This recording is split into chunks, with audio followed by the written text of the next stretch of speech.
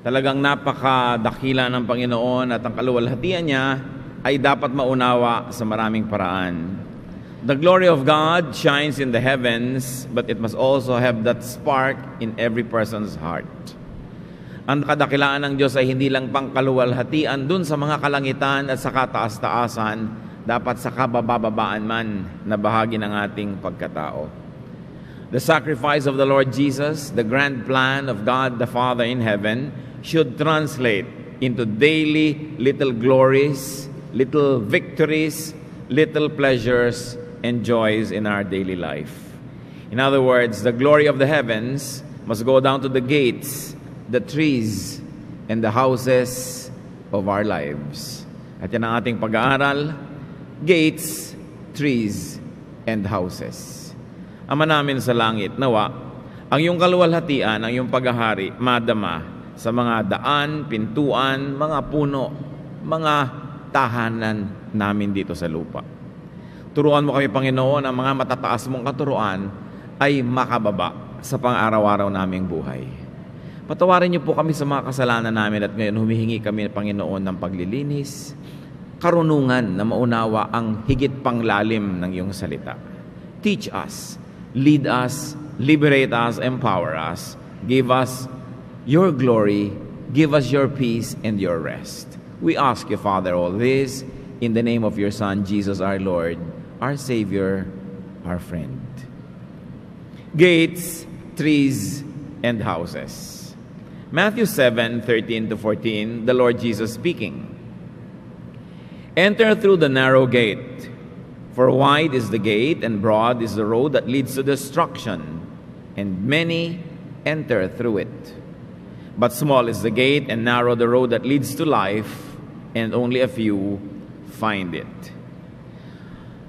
Napakagasgas na ng lesson na ito.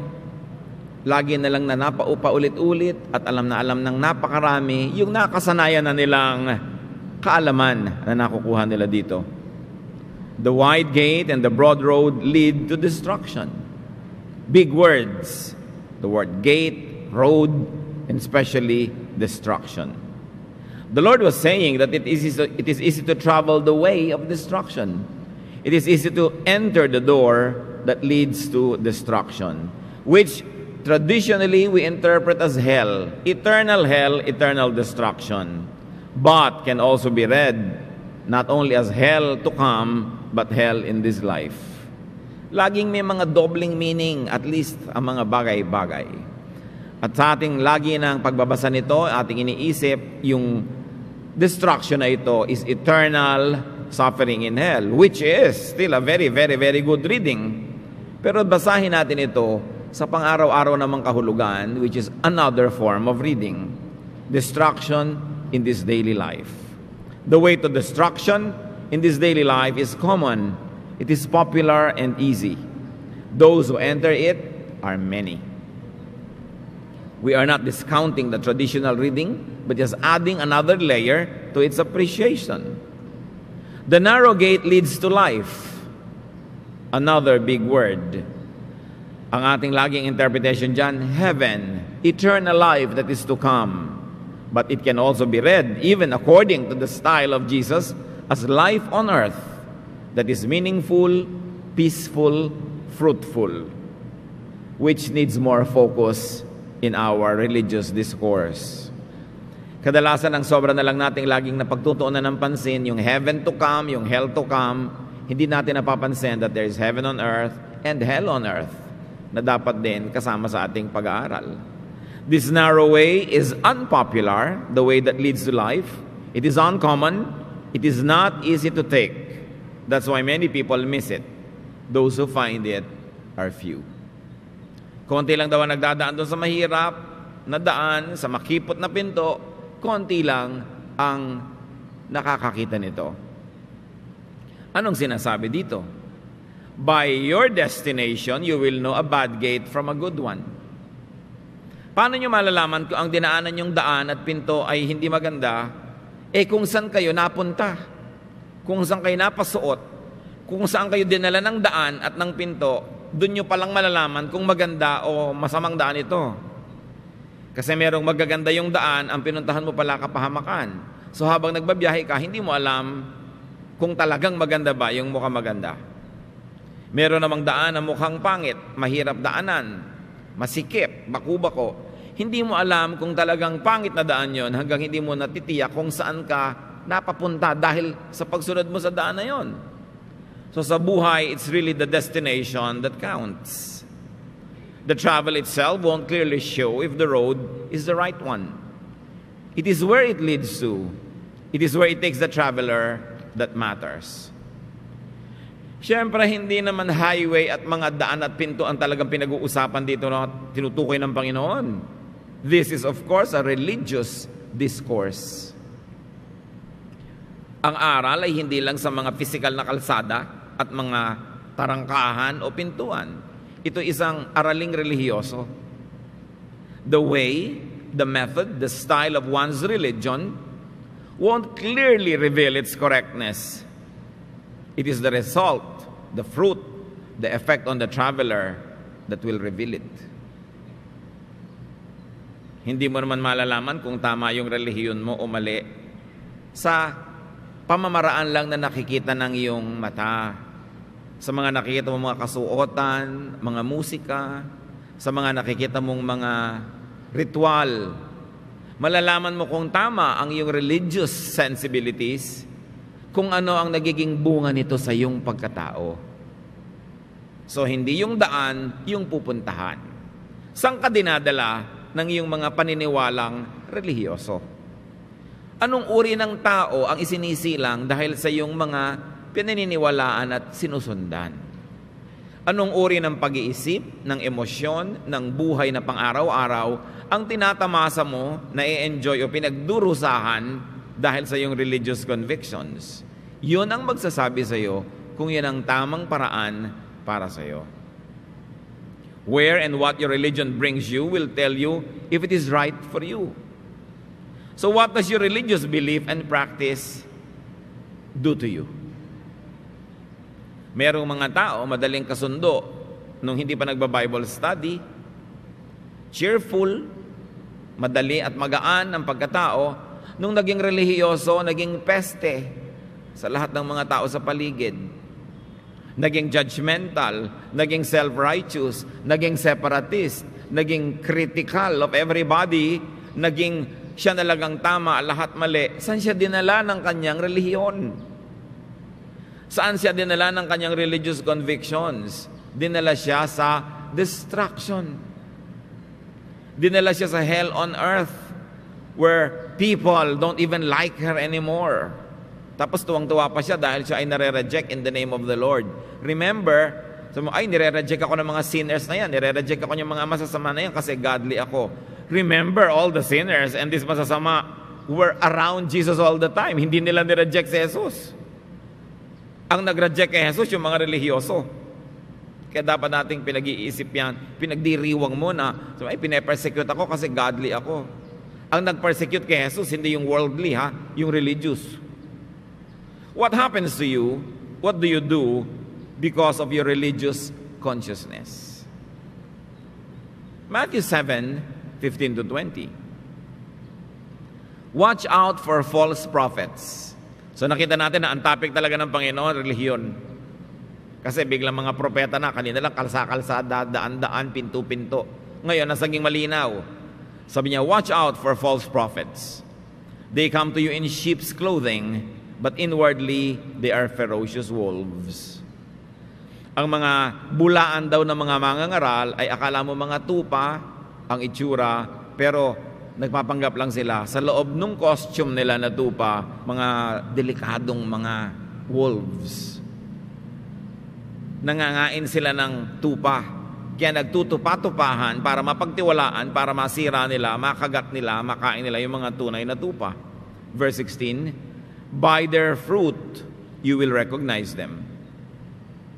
Do people gather grapes from thorn bushes or figs from thistles? Likewise, every good tree bears good fruit, but a bad tree bears bad fruit. A good tree cannot bear bad fruit, and a bad tree cannot bear good fruit. Every tree that does not bear good fruit is cut down and thrown into the fire. Thus, by their fruit, you will recognize them.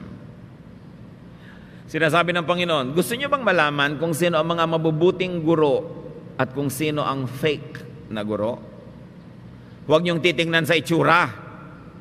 Parang yung tupa, sabi niya, they look like they are sheeps, they are in sheep's clothing. So yung wolf, sumuot siya sa balat ng tupa na may zipper, mukha siyang tupa. Sabi, hindi niyo malalaman sa itsura kung sino ang mabuting guro o hindi. Siyempre, kung mga mabubuting, uh, kung gusto nilang magmukhang mabuting guro, lagi silang naka-close neck, naka-long sleeves, naka-barong Tagalog, naka-necktie. Ano mo ibuburol para mukhang kagalang-galang? Ang language nila ay mayumi, mabini, gentle. Lagi nilang punong-puno ng mga praise the Lord at hallelujah at sister, brother. Sabi, huwag kayong nagpapadaya sa itsura. Sabi ganoon, paano nyo malalaman na sila ay mabuting guro sa inyo? Tingnan nyo yung bunga. Hindi yung bunga ng buhay lang niya, ha? Kayo ang bunga ng inyong guro. Kaya sasabihin mo, mabuti ba ang teacher ko? Nakakabuti ba siya sa akin? Nadadala ba niya ako sa mabuti? Titingnan mo ngayon ang sarili mo. Titingnan mo ngayon ang nagiging ugali mo, asal, pananaw, lifestyle, dahil ikaw ang bunga ng iyong pinaniniwalaan. So lumuwag ba ang hininga mo o nasa kalkalalo dahil sa pakikinig mo sa isang propeta? Ang propeta, mga kapatid, ay hindi lang taong teacher, ha? Maybe it is a religious institution, a sect, a group, a congregation, grupo mo. Ano nagiging bunga? Dati ba na ikaw yung pagmahal sa kapwa, ngayon ay biglang hindi na, ang mahal mo na lang yung brother and sister inside the church and hate mo na lahat? Dati ba, ang isip mo maluwag, ngayon committed na lang, lumiit? Anong nagagawa sa'yo ng pinaniniwalaan mo? Doon mo malalaman kung mabuti yun o hindi. Hindi sa costume, hindi sa itsura, hindi sa panglabas. Prophets are your guide in your journey. Prophets show you the way.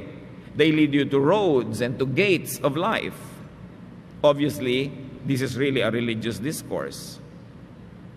Prophets lead people along the road into easy or difficult roads. Ano ba yung easy? Ano ba yung difficult? Ano bang mas madali? Maging judgmental o maging hindi judgmental? Mas madali maging judgmental. Ano bang madali? Maging self-righteous o mas mapag-appreciate ng iba, mas madaling maging self-righteous. Mas madaling mag-isip na tayo lang ang mabuti, tayo lang ang tama, lahat ay mali. Kaya sabi, yun ang maraming ang nagiging ganun. Mas madaling gawin yun eh. At saka siyempre, mas madaling manghikayat ng mga miyembro kung sinasabi mo ikaw lang ang tama. Di natural sa iyo sasama dahil mali yung iba. Those that cannot stand competition will demonize the competition. Will blind their followers so that they will have monopoly at dyan galit na galit ang Panginoon sa religious monopoly ng mga blind guides, wolves dressed in sheep's clothing. At sinasabi ng Panginoon, they are dangerous, they are destructive, they lead people to false roads and to false gates. Na imbes mapunta sa kapayapaan, lalong nagulo. Imbes tumahimik ang kalooban, laging nagigilty Imbes magtiwala sa kabutihan ng Diyos, laging trabaho ng trabaho to earn points in heaven. Forever being manipulated and exploited. At dahil doon na siya ay nagiging kawawa. False prophets must be recognized, sabi ng Panginoon. How? By their fruits. Where they take you, what they do to your mind, what happens to you after or as you follow them. Because you, your values, and the quality of your thoughts are the reflections of the fruits of their work. So mananalamin ka, makikita mo sa sarili mo ang effect ng propeta mo. False prophets are like bad trees that bear bad fruit. What are these bad fruits?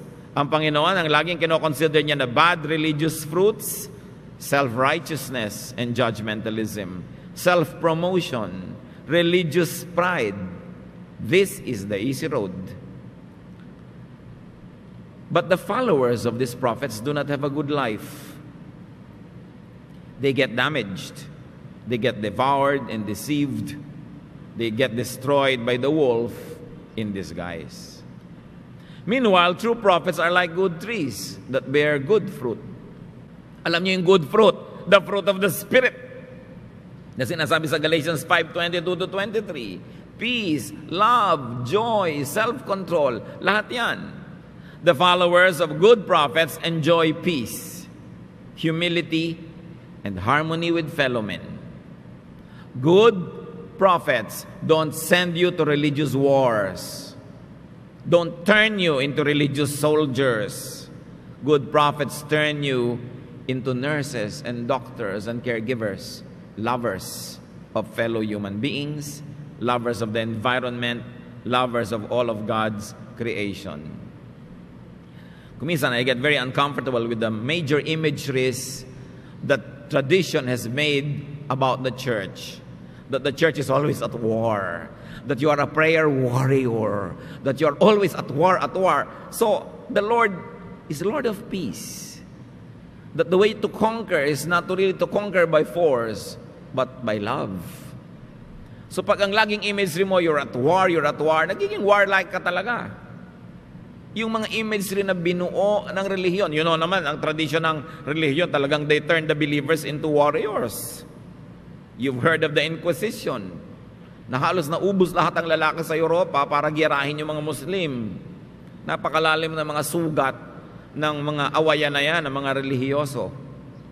Ipina, uh, naubos ang kalalakihan, ipinapadala sa Promised Land or sa Holy Land para agawin muli yun sa mga Muslim doon. Nung naubos na yung mga lalaki sa Europe, mga bata, 9, 10, 11 years old, ipinadala rin ng simbahan yan sa mga gera at nangaubos doon. Warriors.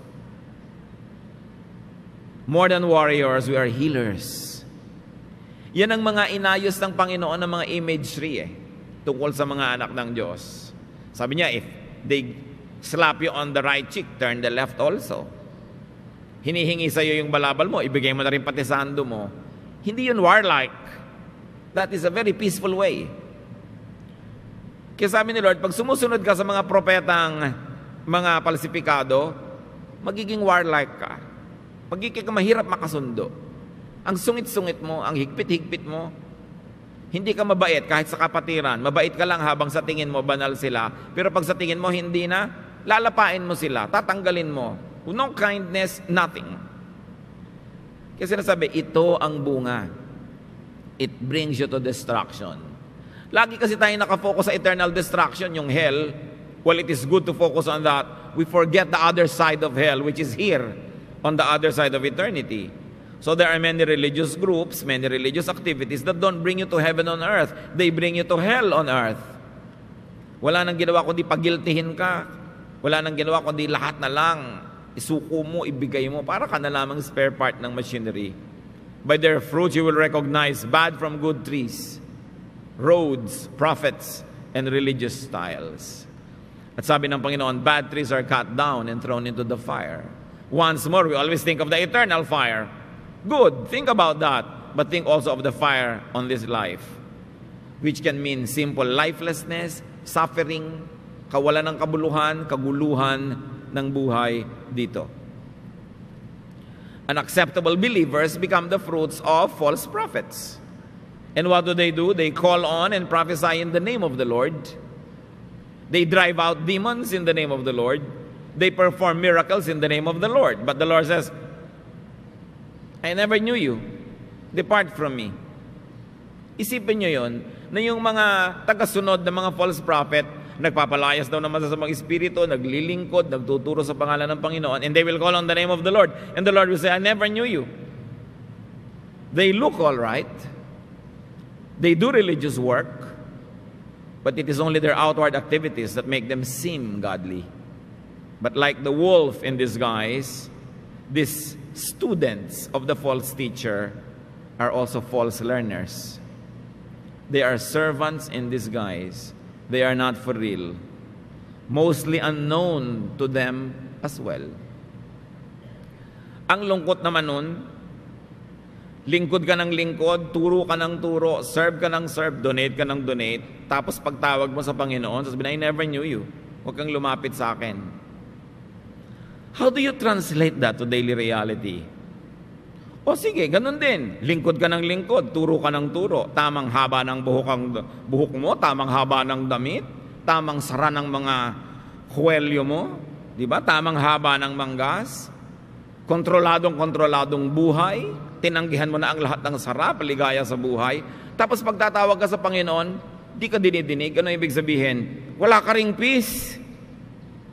Sa pang-ibabaw lang, pero pag umuwi ka na, alam mo sa kalooban mo, hindi ka naman talaga tahimik, hindi ka talaga payapa, hindi ka talaga kontento, hindi ka talaga masaya. In other words, hindi naman talaga nadidinig yung dasal mo. Hindi ka naman talaga secure. Yung mga iba nga, kaya nagiging sobrang relihiyoso, it is only to uh, compensate for their inner sense of nothingness that the religiosity and religious service is not an expression of their love that overflows. Pangkontra lang nila sa kawalang laman ng puso nila.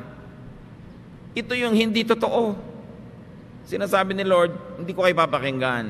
Hindi naman ibig sabihin, nagdadasal ka sa Diyos, ayaw kang pakinggan. Ibig sabihin, walang-wala ka sa lugar. Hindi mo matatanggap yung inaasam mo dahil wala ka sa lugar. Kasi, fake ang teacher, fake ang teaching, fake ang bunga sa'yo. Akala nyo lang pare-pareho kayong totoo. Sa itsura, papasa kayo. Pero the Lord looks at the heart. Unacceptable believers will be denied recognition by the Lord and driven away from the Lord. Once more, you might like to interpret that as eternal damnation in eternal hell.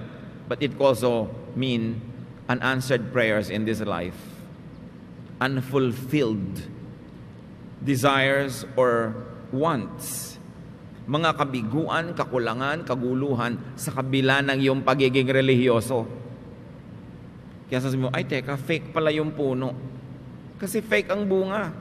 Yung bungang kapayapaan, pag-ibig, katapatan, pagpipigil sa sarili, hindi mo makita. Pero kita mo lahat yung costume. Kita mo lahat yung service. Kita mo yung language. Kita mo yung vocabulary ng mananampalataya. Pero sa kaloob-looban, wala pala yan ang sobrang sayang. Mga huwad na pangako, false promises of false prophets and false religiosity. Meanwhile, acceptable believers, people who believe in true prophets and prophecies will enter the kingdom of heaven. Yan ang sinasabi sa atin. True believers not only do good works, they are good inside. Yun ang nakikita ng Panginoon. Good inside. Hindi lang puno ng good works. Nakakalibang kung minsan yung good works eh. Pag punong-puno ka ng good works, akala mo good ka na rin inside. Maraming may good works dahil good inside, pero marami ding may good works dahil bad inside and they are just trying to compensate. Pangsuhol sa Diyos. It doesn't work. Kingdom of heaven here, as we have already mentioned, can very well mean kingdom or heaven that is yet to come. And yet it can mean also the heaven in the heart of the believer. Lagi ko na lang ito ipinagdidiinan kasi ang mga Kristiyano walang iniisip kundi yung kingdom of God to come. Samantalang sabi ni Lord then, in addition to that which we already know, Luke 17:21, the kingdom of God is within you. May kaharian ng Diyos doon sa kalangit-langitan, pero dapat may kaharian din ng Diyos sa kaloob-looban ng puso mo. At habang narito ka pa sa lupa, nabubuhay ka pa sa katawan na ito, ang atupagin mo yung kingdom of God within you. Dahil yung kingdom of God out there will happen when it happens. But for now, you are here. And you've got to think about the kingdom of God that is within you. Ibig sabihin lang naman, Gaano ba talaga nagahari ang Diyos sa puso mo? Huwag mong intayin yung paghahari niya sa kataas-taasan. Yung ngayon, sa buhay mo, paano siya nagahari? You must think of the kingdom of God that is in the heart. God's kingdom is in the heart. Heaven is condition of your heart and soul. Romans 14:17, the kingdom of God is not a matter of eating and drinking, but of righteousness, peace, and joy in the Holy Spirit. So yun daw paghahari ng Diyos, ang kaharian ng Diyos, ang langit, hindi lang yan religion. Hindi lang yan religious activities like eating. Are you eating the right food? May bawal, may tama. Are you drinking the right drink? May bawal, may tama. Sabi niya, hindi lang yan ang tunay na paghahari ng Diyos. Mga religious ritual and activity at mga nakikita ng kapwa, yan yung kagandahang loob. Yung kapayapaan, yung kagalakan sa loob ng puso mo. Yan ang tunay na kingdom of God. At pag hindi yan na-enjoy ng buhay mo, mag-isip-isip ka Baka ang dinadaanan mong daan ay hindi tama, ang pinto mong pinapasok ay hindi tama, kaya ang kinakahinatnan mo, hindi yung tama. Dapat isipin. Kaya tayo nananalig, kaya tayo sumasamba, kaya tayo nag-aaral, para tayo maging maibigin, kaibig-ibig, mapayapa tayo at matahimik. Eh ngayon, kung sasali ka sa isang religion, pagsalim-pagsali mo, isasaba ka nila sa giyera, isasaba ka sa mga debate, isasaba ka sa mga pakikipagtunggali, tatahimik ka ba nun? Nadami pang kaaway mo hanggang mamaya nagtatago ka na dahil ang dami mong kaaway. So hindi yun ang kaharian ng Diyos. Dapat peaceful. God's kingdom is not about appearances and religious drama. It is about man's inner condition. Matthew 11:29. Ano ba yung kingdom of God? Siyempre, pag sumunod ka kay Jesus, dadaling ka sa niya sa kingdom of God or He will bring God into your heart to make it God's kingdom. Sabi ng Panginoon sa Matthew 11:29, Take my yoke upon you and learn from me. For I am gentle and humble in heart, and you will find rest for your souls. So God's kingdom gives rest for the soul. Natatahimik ka ba? Napapayapa. Sabi niya, I am gentle. Kung si Lord ang master shepherd, dapat lahat ng ibang sub-shepherds gentle din. Humble din in heart. Hindi mayabang, hindi hambog. Hindi mapagmalaki, hindi palababag, hindi palaaway. Sabi niya, I am gentle and humble. Doon pa lang malalaman mo yung fake sa totoo na prophet. Dahil may model eh, si Jesus. At merong kinakahinatnan ang kanyang leadership sa buhay mo, it ends up in humility, restfulness, peace. True believers, those that are good fruits of the good tree, true believers are rested in their hearts. They are restful to be with. Hindi lang sila payapa sa kanilang kalooban, napapayapa din ang kasama nila, hindi nagugulo. False believers are tiring to be with, troublesome, and vexing. And this is really the quality of many religious people. Nakakapagod kasama, nakakadalang kausap, nakakagalit pa kumisan. So nakikita natin na ipinapakita ng Panginoon, ibinubunyag niya yung maraming kasinungalingang relihiyoso sa ating kapaligiran. Matthew 11.30, sabi na naman ng Panginoon, For my yoke is easy and my burden is light. Magaan lang. Pag pinapahirap, hindi yun ang pamamaraan ni Jesus. Pag sobrang daming bawal, sobrang daming regulasyon, lagi ka nalang ito yung kulang, lagi ka nalang nagkakamali, hindi yung galing sa Panginoon. Sabi niya, my yoke is easy. Madali lang. My burden is light. God's kingdom is easy and light. Magaan, madaling kasama ang true believer. Hindi naiilang sa kanya yung mga iba ang relihiyon. Hindi naiilang sa kanya yung mga kinoconsider na sinful. Even Jesus was called a friend of sinners. Hindi siya nakikialam sa reunion, family reunion, may gustong uminom, ay ipagbabawal niya dahil siya born again. Eh di wag ka uminom kung ayaw mo. Anong pakialam mo sa gustong uminom? Kahit mapigil mo sila sa family reunion, pagkatapos ng reunion, iinom din naman yun kung hindi nagkaroon ng pagbabago sa isip. So pakitang tao lang yung pagpipigil nila dahil lang nandun ka. Yun yung fake. Hindi nanggaling sa puso, napilitan lang. Kaya yung mga iba, pag may mga family reunion, ang host yung, naku, yung mga pinsan nating born again ang host, ako, huwag tayong umattend. Di ba? Kasi i-impose na mga yan ng relihiyon nila sa atin.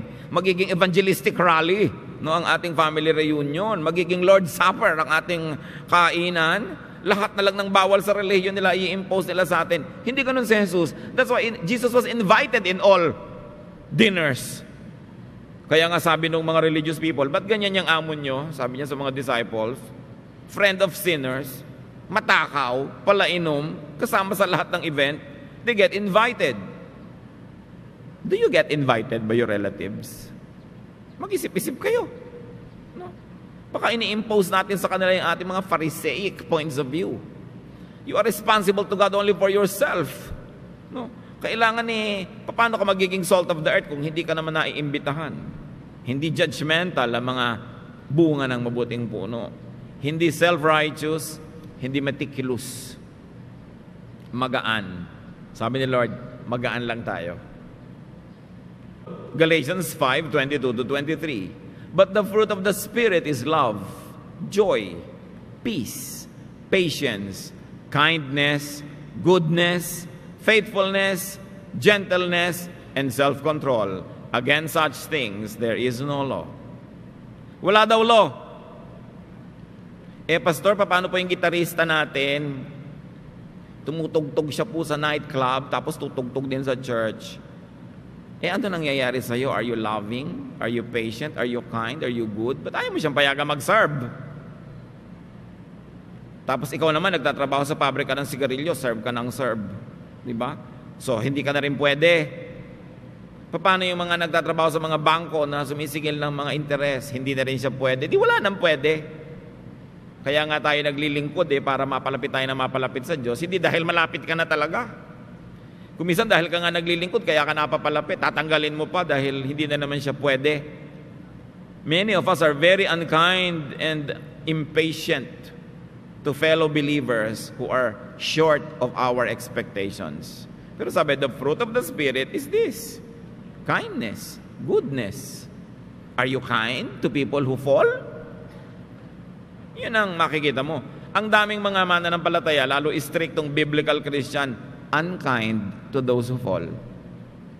Unkind. Ang bait-bait sa first time guest, pero yung mga workers na nagkakamali, ang lupit. Kakadala tuloy mag-serve, dahil ang lupit eh. No?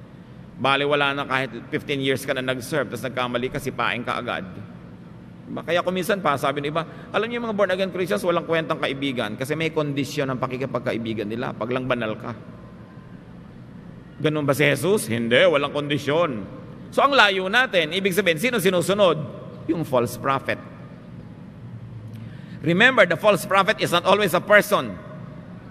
Sometimes it is a religious thought. Sometimes it is a religious group. Sometimes it is yourself. Kasi kung isa, tinuturuan ka sa pulpit na maging kind, pero ang interpretation mo, unkind pa rin. Ayoko ng ganyang stand. Ang liberal, ang luwag-luwag. Ako, strict. So, ikaw na yung prophet mo. Sarili mo na yung sinusunod mo. Kaya titingnan mo sarili mo, peaceful ba ako? Hindi. Paano ka magiging peaceful kung lagi mo minamanmanan ng lahat ng pagkakasala ng bawat isa? Kaya mga iba, Pastor, Pastor, meron po akong sasabihin sa inyo, magpapa-counsel po ako. Kaya ako allergic sa mga nagpapa-counsel madami. Pagkaupo ka na, ang gagawin, isusumbong niya at isisiwalat lahat ng kasalanan ng kapwa. So, ay, teka, dapat sa TV ka magpunta, sa talk show. No, hindi dito. I'm not interested. Hindi kita ginagawang pulis. Paano ka magiging tahimik kung pulis ka ng pulis? Kahit mga asawa, pulis kayo ng pulis, di ba? Hindi kayo matatahimik. Sakay kayo ng sakay ng mga taxi, sunod kayo ng sunod sa mga asawa niyo kung saan saan sinusuotan bumabayad kayo ng kung sino-sino para magmanman. Pagka nasa banyo siya, binabasa niyo yung telephone niya. Eh, magulo, di ba? Dahil nagpupulis ka pa. Kaya dapat naman, kung kayo may mga partner, hindi na kayo dapat bantayan. Bantayan niyo mga sarili niyo dahil hindi siya matatahimik. Huwag mong pakialaman na kasalanan na yung kapwa, yung buntot mo ang hilahin mo. Haharap ka sa Diyos mag-isa, hindi mo papanagutan yun. Ngayon, kung gusto mong magbigay ng magandang halimbawa, pag-ibig, pagtuturo, do it. But don't be a judge. Wala pang judge. Puro salvation pa ngayon, wala pang judgment. Ba't ka mauuna? Napakahalaga yun kasi ang dami-dami talagang Tinatawag nating false prophets. Ang itinuturo sa tao yung lagi mong sinusukat ang kapwa, binabantayan, kinikriticize. Hindi ka matatahimik, hindi rin sila matatahimik. How can you have the fruit of the Spirit? Fruit of God, the fruit of the Spirit reigns in a true believer's heart. Doon mo malalaman, saan ako dinala ng aking propeta? Sa pagiging judgmental o sa pagiging loving? Doon mo malalaman kung good road, kung good door, kung good tree ang iyong nasalihan. A true believer also causes others to enjoy these fruits. Hindi lang sa kanya, yun din ang inihahawan niya sa iba. 1 Corinthians 3.3 You are still worldly. For since there is jealousy and quarreling among you, are you not worldly? Are you not acting like mere men? Sinong pinapagalitan dito ni Paul? Mga mana ng palataya. Sabi ang totoo, kahit hindi kayo umiinom ng alak, kahit hindi pa kayo kumakain ng baboy o dinugan, kahit hindi pa kayo nagpupunta sa mga party o disco, sa away-awayan nyo na lang sa loob ng church, ang worldly-worldly nyo. Akala nyo ba yung worldliness, yun lang nasa disco, yun lang nasa kung saan-saan? Subukan yung umaten ng mga board meeting ng mga churches. Kundi puro bangayan ang madidinig nyo. Kaya tayo walang board eh, para tahimik. Awayan, contest, pagalingan, etc., etc. Kaya nakakadala kumisan. Alam niyo ng mga 70s and 80s, sobrang sumabog pumutok yung evangelical Christianity. Halos lahat nagba-Bible study, umati ng mga evangelistic rally, dito-dito, ang dami-daming churches. Sa SEC, libo-libong mga churches ang nire-register linggo-linggo. Pero matagal lang tumigil yun, mga kapatid. Yung pagtaas ng evangelical Christianity, bumaba na sobra yan. Alam niyo kung bakit? Yung mga nagsalihan, nadala. Akala nila sumunod sila kay sister at kay brother into heaven. Ang gulo pala ng church. Takot-takot palang quarreling and jealousy. Nagbalikan na lang sila sa mga dati o ayaw na lang nila. Once bitten, twice shy. Nangadala. Yung pangako na kapayapaan, pagmamahalan, hindi natupad. Kaya meron tayong pananagot ang tuparin yon para huwag kadalaan ng mga tao yung evangelical Christianity, yung Bible study, yung worship. God's kingdom is not weighed down by worldliness, by mundane concerns, and pettiness. And we must watch the meaning of worldliness. Hindi lang yan yung pleasures of the world. Yan yung sin of pride, sin of enmity and strife, na hindi laging kita pero mas mapanganib. Matthew 23:24, sabi ng Panginoon sa mga nagtuturo, You blind guides, you strain out a gnat but swallow a camel. Hindi nyo malulunlulo ng kaprasong insekto pero yung buong camel nalululun nyo. Ibig sabihin, may mga tao na hindi papayag na hindi tamang-tamang-tamang-tama ang doctrine.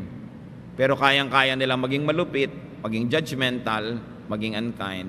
Sabi niya, maliit na insekto, hindi malunok, pero yung malaking lalo, kayang-kaya nyo. Nakikita natin yon. Those who believe in and follow false prophets will never enjoy peace and love and harmony and kindness. So you will know that you have followed a false prophet or prophecy by your fruits.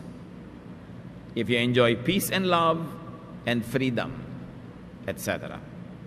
Matthew 7 24 to 27. Therefore, everyone who hears these words of mine and puts them into practice is like a wise man who built his house on the rock. The rain came down, the streams rose, and the winds blew and bit against that house. Yet it did not fall because it had its foundation on the rock. But everyone who hears these words of mine and does not put them into practice is like a foolish man who built his house on sand. The rain came down, the streams rose, and the winds blew and bit against that house, and it fell with a great crash. Biglang dinala ng Panginoon ng usapan sa isang malinaw na halimbawa. Sabi niya, o narinig nyo na ang katuruan ko tungkol sa mga puno na masama at maling puno, therefore masama at maling bunga. Narinig nyo na ang katuruan ko tungkol sa mga mali at tamang propeta, na yung maling propeta dinadala kayo sa maling daan, maling pinto at maling lifestyle. Yung tamang propeta dinadala kayo sa medyo mahirap-hirap na daan pero ang kinakapuntahan yung tamang lifestyle, yung heaven on earth, yung tahimik ka, payapa ka, loving ka. Eh ano ngayon ang gagawin niyo sa narinig niyo? Sabi niya.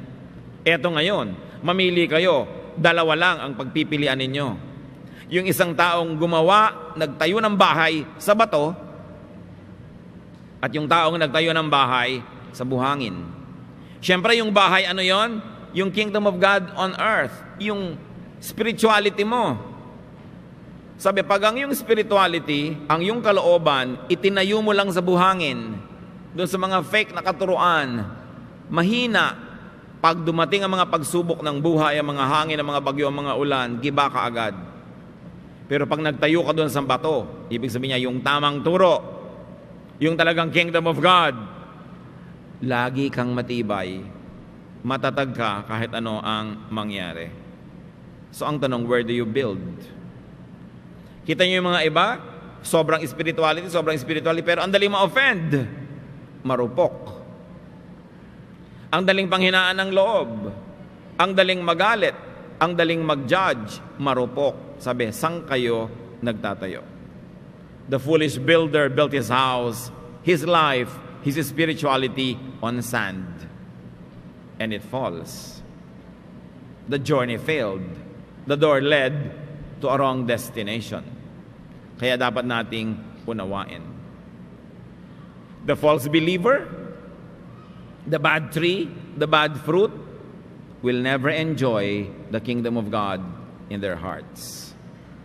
The false believer calls on God, does religious acts, but will not be recognized, will not enter peace, will not enter a harmonious, quiet, personal life. Kung ang reading na ina-apply natin is heaven on earth, pwedeng pwede rin i-apply yan sa heaven beyond. So the wise builder built on rock. His house withstood the elements and the tests. The wise traveler who entered the narrow gate found life. He followed the true prophet who produced a good tree that produced good fruits. The true believer is welcomed by God into the kingdom of heaven, into a peaceful, loving, quiet life. Ano mga challenges niyan na napakalinaw? That finding the good road entering the good gate, bearing good fruits, calling on the Lord, approaching God correctly, building on rock, and withstanding test greatly depends on following true prophets. What are the evidences of a prophet's truthfulness? The sheep find and walk the way, enter the door that leads to heaven. Again, the true test is in the eating. Ano ang lasa mo? Ano ang nangyari sa iyo sa kasusunod mo sa isang uri ng pananalig o sa isang uri ng pananampalataya? They enjoy a good life of peace and godliness and freedom if they are following the true prophet. They bear good fruits. They call on God correctly, not just by outward service, but by inward spirituality. They build their houses on good foundation. They withstand tests. So test the road by its destination, the tree by its fruit, the foundation by its strength. Bring it close to home, brothers and sisters. Test your religious conviction, your affiliation, your stand, and your leadership according to what they do to you. Ano ang epekto sa iyo ng ministry ng pinapakinggan mo. Doon mo malalaman kung nakakabuti. This is not from God if it leads to pride, if it leads to self-righteousness and judgmentalism, if it leads to division and divisiveness, to strife and stress, to quarrels and trouble, to unkindness and wickedness, it is not from God. And I like to emphasize that prophets are not just teachers or persons, they can be yourself. Kasi pwede ka naman makarinig ng teaching asking you to be kind. Ang reading mo, ang interpretation mo, application mo is to be unkind. Ang laki ng factor natin dyan kasi madalas tayo naman yung prophet ng sarili natin. Sinusunod lang natin yung gusto nating sundin, pinapakinggan natin yung gusto nating pakinggan. So kuminsan, kapatid, mas madalas pa nga, ikaw ang prophet na pinag-uusapan. So are you a good or a bad prophet to yourself? Are you a true or a false prophet to yourself? Then you have to look at your attitude and thoughts and ways, and then you will know. You can make your own hell or you can make your own heaven, depending on what kind of a prophet you are to yourself. Dear God, thank you that you would like us to have a good life. We like very much to be in heaven in eternity with you. But in this world, in this life, on this earth, we also like to have your heaven in our hearts. Teach us, Lord, to recognize good prophets. Teach us to be good prophets to ourselves. Teach us, O Lord, to make heaven, not hell, in our hearts. Teach us, Lord, to enthrone you, not Satan, in our hearts. Teach us to turn our lives into little heavens instead of little hells. At ituro mo sa amin, Panginoon, kung ano ang papel ng aming religious conviction, religious membership, religious color sa paglikha ng puso namin na nais niyong tirhan. Magbulay-bulay tayo mga kapatid. Pakinggan pa ang tinig ng Diyos kung paano magiging lalong makapangyarihan at totoo sa atin yung kingdom of God that should be in our hearts. Let us identify our religious thoughts and habits, Uh, religious styles, that make hell for other people and make hell for us. Lord, teach us so we can fully enjoy your love and your kindness. Give us your heaven in eternity and give us your heaven on earth. Let's be silent and listen to the voice of God.